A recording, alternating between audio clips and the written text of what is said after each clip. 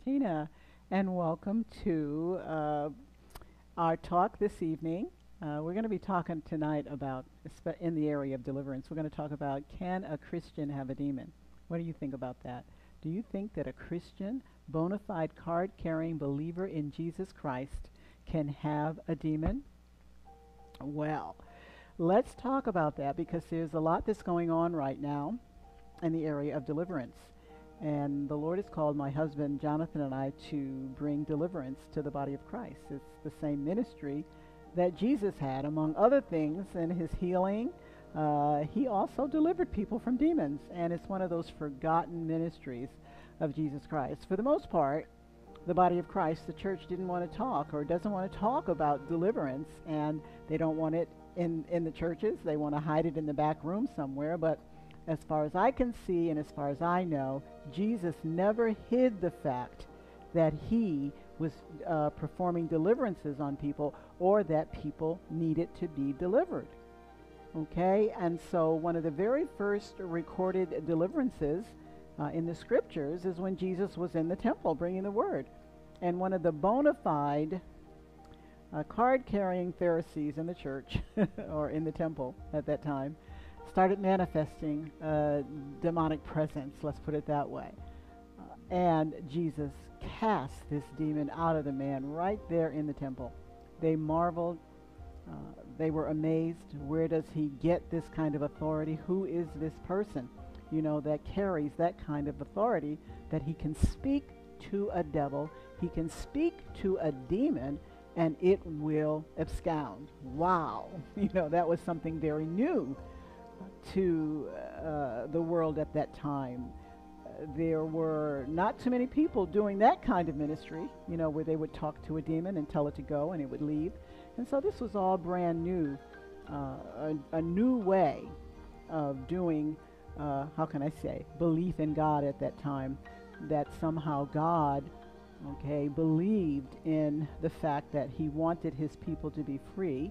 He wanted his people to have liberty and then he sent someone who had the power and the authority to present that liberty and sustain that liberty in one area as far as deliverance from demons is concerned. So praise God uh, for that fact. But tonight we're going to be talking about the Christian community and this community that we're in that wants to hide deliverance, you know, in the back room, you know, that wants to put it aside uh, and people are coming to church every day. God is sending them into the church because they have needs. They're coming to church to get healed, to get delivered, and to get set free. And there's been a whitewashing or a watering down of the gospel as it concerns deliverance because there is a, a, way of thinking, a mindset out there that says that, well, we're Christians. We don't need to be delivered from the devil. When we accepted Christ as our personal Savior, when we believed uh, that he lived and that he died, uh, that his blood that, sh- that was shed in his resurrection frees us from demonic oppression. And of course, the scripture tells us that for this purpose was the Son of God manifested. It says that in 1 John 3 8, that he might destroy the works of the evil one. So there's been this teaching in the church of Jesus Christ that once you receive Jesus Christ, once you become a Christian, once you become a believer, that demons can't oppress you. You're free from demonic control. You're free. You're not you don't have demons that bother you. Well, and they keep perpetrating that teaching. I uh, had gotten my son to, to go forth and to, to go to a deliverance minister and see if there was anything there that he needed. But he had friends that was telling him that that wasn't necessary. Okay, he didn't he didn't need that.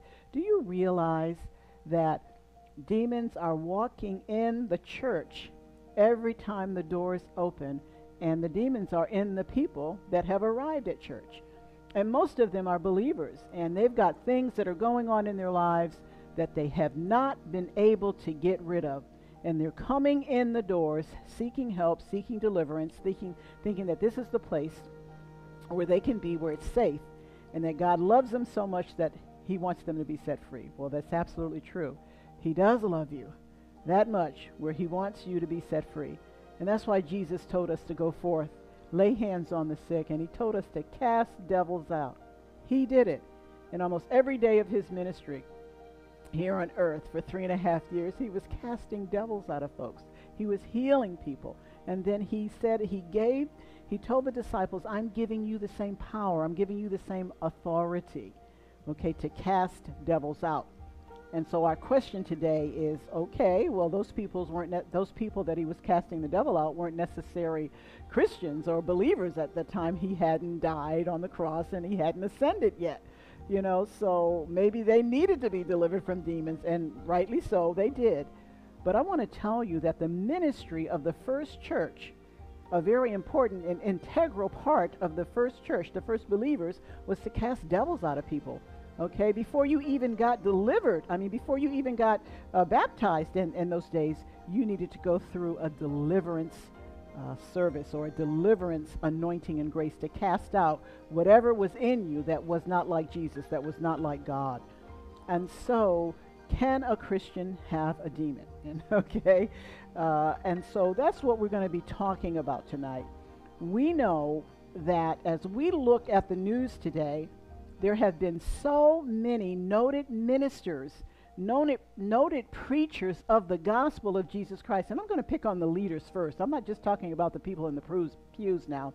I'm talking about the leaders, you know, the ones that we look to, you know, for the Word of God, the ones that we look to, you know, for teaching and for training in our most holy faith. These are the ones that we have seen fall. Many of them have fallen okay, fallen uh, into sin as God has allowed their lifestyle to be uncovered.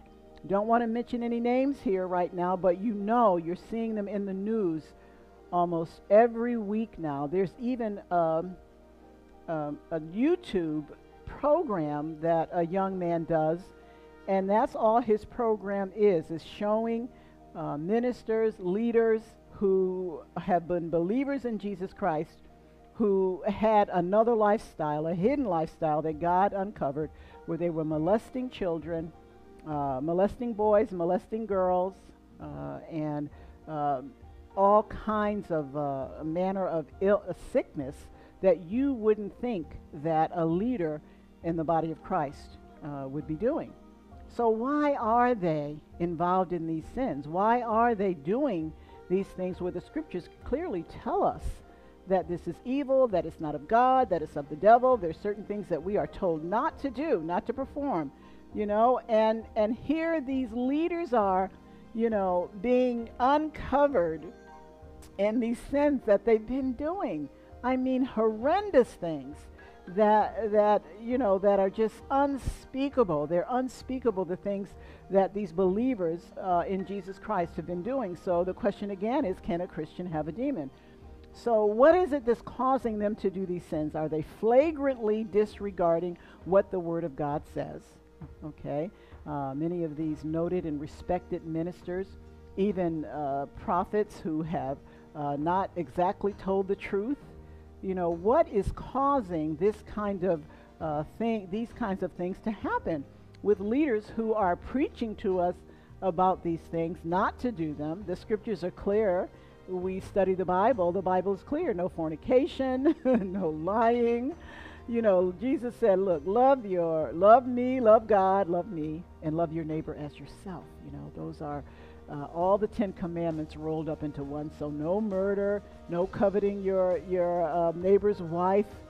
You know, all kinds of uh, demonic uh, demonic sins that are happening, and the only thing that we can attribute them to is the devil you know, that old Flip Wilson program, Geraldine. You know, I don't know if you guys are old enough to remember that, but he made a lot of money in his television show, okay, by playing a woman, okay, and, and his ma- mantra was, the devil made me do it, okay? And so we're finding now that as deliverance ministers, there are many things that can be in your life that you haven't gotten set free from that the devil could be at hand, the demons inside your life as a Christian. So you don't believe a Christian can have a demon. All right? Well, let's go to Acts chapter 5 where we read about Ananias and Sapphira. Ananias and Sapphira were a husband and wife, and they were a part of the very brand new Christian community. And this commu- community that had believed in Jesus, Jesus had already ascended. This is in the Acts of the Apostles. Well, they and they all had everything in common, the scripture says, and they would come and sell their items and put it all together, you know, so they could all benefit by what everybody else had. And so Ananias and Sapphira sold some property, all right, and they decided that they were only going to give a certain certain portion of it to, uh, the, let's say, the church. It wasn't called the church at that time. Let's just say the body of believers, where Peter was in charge there. And so they came in one day after they had sold some property and actually didn't give all the money that they had, uh, had gotten uh, from selling the property. And they had made up in their minds that they were only going to give a certain amount, and somehow the Holy Ghost did not like it. The scripture said, Peter said to them, Ananias, why has Satan filled your heart to lie to the Holy Spirit? To lie to the Holy Spirit. Why has Satan filled your heart? Now, this was a believer in Jesus Christ. This, he was part of the, uh, the believing community, you know, at that time. So, did he have a demon? Who could talk to you and make you change your mind or do something that's out of sorts, that's not that you shouldn't be doing? Okay, break one of the spiritual laws or break a law, you know, that, that the scriptures tells us not to do. So, what Peter said was, Ananias, why has Satan filled your heart to lie to the Holy Ghost? Christian who was overcome by the words of Satan telling him to lie to God. All right? So, was that something coming from the outside of him, or was that something already on the inside of him that had not been regenerated yet? Well, he and his wife, because they lied to the Holy Spirit. You read the story in Acts chapter 5. Both of them lost their lives because of that lie. So, in answer to the question, can a Christian have a demon? And I would like to say and let you know, yes, you can if you're a Christian. And that may be the reason why some of the things that are going on in your life that you haven't been able to get free from. Okay, so we know that uh, let's see, there's some stubborn issues that go on in our lives. We haven't been able to overcome them, like anxiety, depression. We need healing. We get all kinds of illnesses, you know, and we go to counseling, and counseling hasn't worked the way it should. We go for inner healing. Inner healing is great, but it hasn't done the total job that it needs to do, and it hasn't worked for everyone. Okay? And so, those problems that you're having and your mindsets, you know, in the way that you do things, okay, in the way that you, you know, the, the, the things that are drawing you to do things wrong that you don't want to do. You actually could have a demon, even though you're a believer in Jesus Christ. You're probably dealing with a demon when you've done all that you know to overcome a persistent problem and there's no breakthrough. Okay, so you may think in these times that there's too much emphasis on the devil. And you may want to think, well, it's in my flesh. Well, there's some things that may be in your flesh, you know, but there are other things that are because of demonic activity uh, in your life. Okay? So you're a Christian and you want to know how you could have a demon. You know, you see the preachers that have fallen, you see how the Holy Spirit is exposing their sins, okay, and how somehow they've had a seared mind believing sometimes in some cases with some of these guys they were believing their sin was inconsequential that it wasn't important and and didn't repent of their sin before they died. Okay? And so here's one of the ways that you can tell just one there's so many ways that you can tell whether or not you have a demon or not. Okay? And one of the ways that you can tell is if you are being tempted to do evil or to do something wrong not only are you tempted to it in your fresh flesh, but you're driven to do something that you really don't want to do. You've confessed, I don't want to do this. Why am I doing this? Okay, and you make up in your mind, I'm not going to do this anymore. I'm not going to have this problem anymore. And you tell yourself that, and you really mean it. And then you find yourself walking to do that very thing that you told yourself that you wouldn't do. All right? That may be a demon that's driving you. If you're having desires that are perverted, Okay? That is actually a demon that's tempted you. You know, if you're pulled into something and forced into something, then that could be a demon as well. Okay? Again, things that you swore that you wouldn't do anymore. and you're still being tempted and you're still getting into that. Now, other things could be persist as well, generational curses that manifest in, in family illness, family personality problems, family quirks, could be demonic oppression from the generations past. Okay? So you have demonic forces that want to bring destruction to you because Satan's job is to kill, to steal, and to destroy. And anything that he can perpetrate in your life based on the weaknesses that you have, remember, you're drawn away, the scripture tells us, into sin by the desires of your own flesh, by your lusting, okay? And so so the uh, enemy's job is to steal, to kill, and to destroy. That's what he does. And what he wants to steal, kill, and destroy is you. He wants to keep you away from the power of God. He wants to keep you away from living the total Christian life in power that and authority that Jesus has called us to live in. And so we have been blaming ourselves. We've been blaming anything and everything except the true culprit of your problems. And it is the devil. And there are demons that can be on the inside of you causing you to do this. And you need to have deliverance. Jesus' ministry of healing and bringing forth, preaching the gospel, part of that ministry, a big part of that ministry was deliverance from demonic forces. He knew uh, how to speak to the devils. And the other thing is that they knew who he was. You remember the Gadarene, the guy that had a legion of demons? You know, the demons spoke to Jesus. Jesus was just in the area. And the demons came over to Jesus and said, Hey, you son of God, don't, don't torment me before my time. This is talking through the man, but it was the demons that were on the inside of him. Okay? And so we just want you to know that we we are going to be on um, a ministry effort by God Himself as He's called us to do this. Praise God. To preach the gospel to set the captives free. That's why Jesus came. In Luke 4 18 and 19, Jesus said, The Spirit of the Lord is upon me, because he's anointed me to preach the gospel to the poor, and he sent me to heal the brokenhearted and to preach deliverance to the captives, and the recovering of sight to the blind, and to set at liberty those that are bruised, and to preach an acceptable year of the Lord. This is an acceptable year of the Lord where God has released a great deliverance anointing in the body of Christ. And you can tell the Christ, the body of Christ need deliverance because of all that stuff that's been happening over the last four or five years, Christians got themselves involved in. Attitudes, uh, uh, breaking off friendships, you know, for political reasons or non political reasons, and, and, and that spirit of division that was in the body of Christ. Well, we know that unity is the blessing of Jesus Christ, that peace is the blessing of Jesus Christ, and joy is the blessing of Jesus Christ. And the body of Christ went a little aside, they went a little askew, I think, of the true purpose that they are as Christians, as believers in Christ Jesus. And so, Jesus said in 1 John 3 8, It is for this purpose that the Son of God was manifested, that he might destroy the works of the evil one, no matter where they manifest. And there's been some evil manifesting in the lives and the hearts of those who believe in him. And so he doesn't care where the evil is. He's going to destroy the works of the enemy no matter where the enemy raises his head, whether it's in Christians or non Christians, wherever.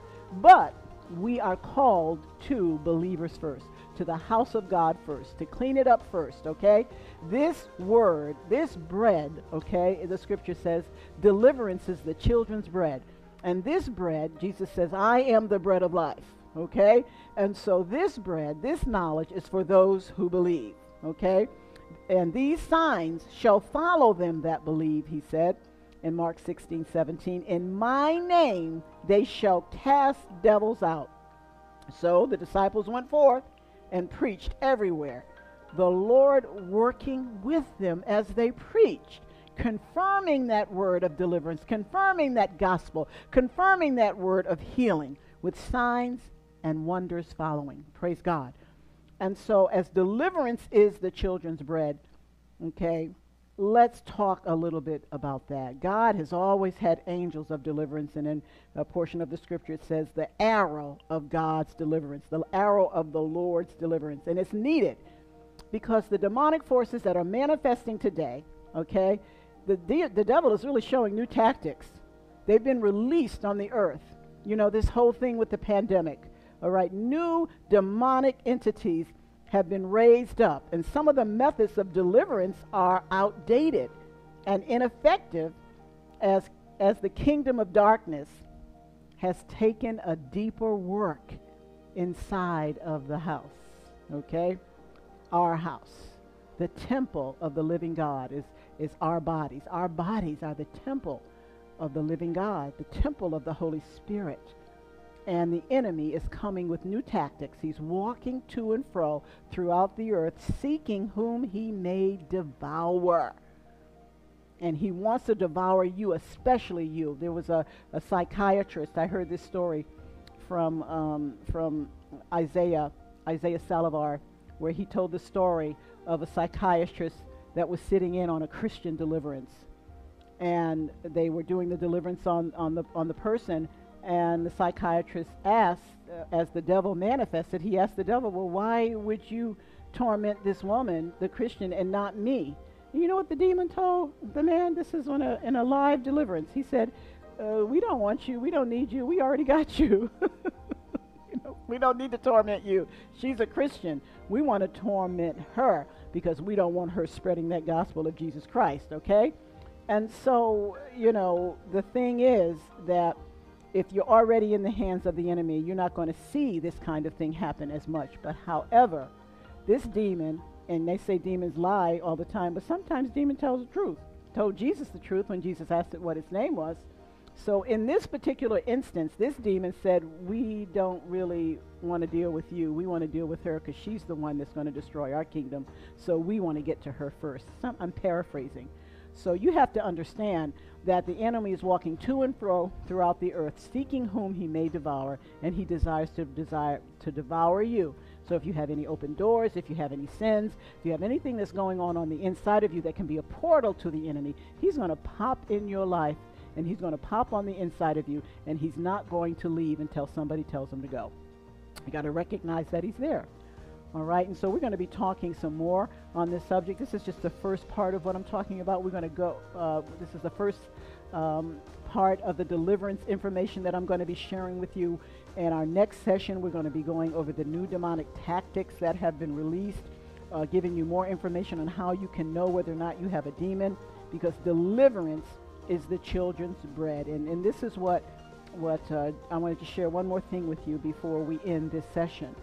Okay, in Isaiah 62 6, God said, I, through Isaiah the prophet, He said, I've set watchmen upon the walls, O Jerusalem, which shall never hold their peace day and night. Ye that make mention of the Lord, keep not silent. The deliverance ministry, and those of us who have been called to deliverance for a long time, had to keep silent especially in the church, because they didn't want to hear about it. You know, if you had this kind of ministry going on, you had to do it somewhere outside of the church, way in the back room, somewhere downstairs in the basement. It wasn't a mainstream anointing and grace. When Jesus, it was always mainstream with Jesus. He didn't hide uh, anything when he was setting people free. Okay, when people were getting delivered, it wasn't it wasn't uh, hidden.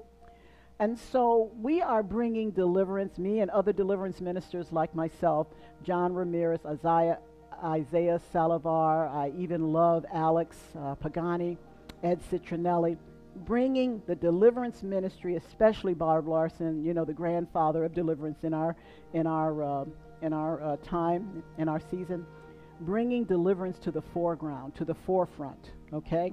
And taking it out of the back rooms and, and taking away the fear that the leaders have of losing members, uh, you know, of losing money because of this kind of ministry. Because in times past, they told you not to do it. It was scary. You shouldn't be doing that stuff. That's not the stuff you should be messing with. Don't, uh, don't be messing with no, no demons and stuff. People were afraid of the enemy afraid of what the enemy can do. God has raised up a new set of deliverance ministers that are no way, no how afraid of what the devil can do. In fact, their fear is, is of God, of what God will do to them if they don't do the work that He's called them to do. And so you're going to see more and more deliverance in the foreground and God is going to be allowing the anointing and grace of His Holy Spirit to reveal, even if you need to be delivered, even if you have demonic forces that are holding you back, or that are keeping you back. Fear of failure, failure. Fear itself is a demonic oppression. Okay? And so we cannot keep silent anymore. We, and this is what Jeremiah said. He said, His word was in mine heart as a fire shut up in my bones, and I couldn't forbear. The deliverance word is like a fire shut up in my bones. It's like a fire shut up in the bones of John Ramirez, Isaiah Saldivar, you know, Alex Pagani, Ed Citronnelli, and we cannot forbear any longer. Okay?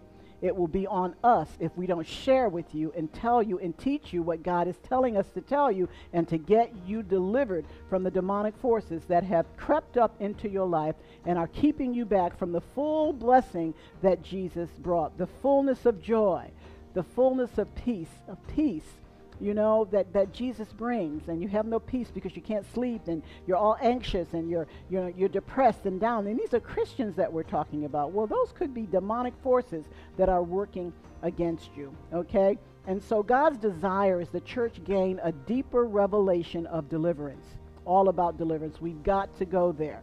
Some of the weapons, like I said, of our warfare are outdated and they're ineffective, okay? But the Word of God is alive Okay, the Word of God is spirit and it's life, and God is bringing new revelation and new understanding in this area of deliverance from demons. Yes, deliverance from demons. It's the D word, deliverance from demons, to destroy the works of the evil of the evil one. Okay.